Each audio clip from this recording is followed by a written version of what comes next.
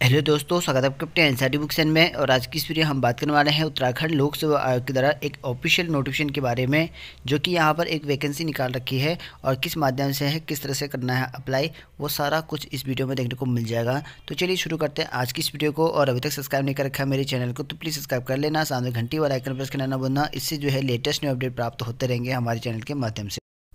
तो देखिए दोस्तों, उत्तराखंड लोक सेवा आयोग के द्वारा एक लेटेस्ट न्यू अपडेट है जो कि यहाँ पर आप लोग देख सकते हैं, विज्ञापन संख्या और यहाँ पर दिनांक देख सकते हैं, यहाँ पर 26 तारीख का है। और विज्ञप्ति लिखा गया है कि माननीय उच्च न्यायालय नैनीताल में सहायक समीक्षा अधिकारी, अनुवादक, टाइपिस्ट एवं असिस्टेंट लाइब्रेरियन मुख्य परीक्षा दो हज़ार अठारह के संबंध में यहाँ पर कहा गया है। तद द्वारा सूचित किया जाता है कि माननीय उच्च न्यायालय नैनीताल में सहायक समीक्षा अधिकारी, अनुवादक, टाइपिस्ट,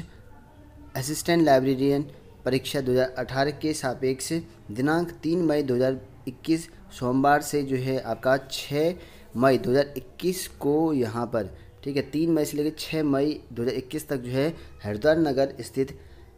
उत्तराखंड लोक सेवा आयोग के परीक्षा भवन में निर्धारित मुख्य परीक्षा को कोरोना महामारी के बढ़ते प्रभाव के कारण माननीय आयोग द्वारा जो है अग्रिम आदेशों तक स्थगित किया जाता है। तो ये जो परीक्षा थी आपके तीन मई से लेकर छः मई के बीच में, ये अग्रिम आदेश तक जो है स्थगित कर दिया गया है और प्रश्नगत मुख्य परीक्षा की आगामी तिथियों की सूचना दैनिक समाचार पत्रों एवं आयोग की वेबसाइट के माध्यम से पृथक से जो है प्रसारित की जाएगी। तो आगे की जो डेट होगी, वो बाद में हम कर देंगे पब्लिश जो कि न्यूज़पेपर के द्वारा या वेबसाइट के द्वारा हम बता देंगे, ऐसा यहाँ पर कहा गया है। तो ये भी जो परीक्षा थी, वो आपकी स्थगित कर दी गई है तीन मई से लेकर छः मई के बीच में, जो आपकी मुख्य परीक्षा होनी थी इस चीज़ की, ठीक है? तो उत्तराखंड हाईकोर्ट में जो यहाँ पर समीक्षा अधिकारी था, अनुवादक टाइपिस्ट इनका निकला था, उसकी जो मेन परीक्षा थी, वो रोक दी गई है कुछ टाइम के लिए, कोरोना वायरस को देखते हुए।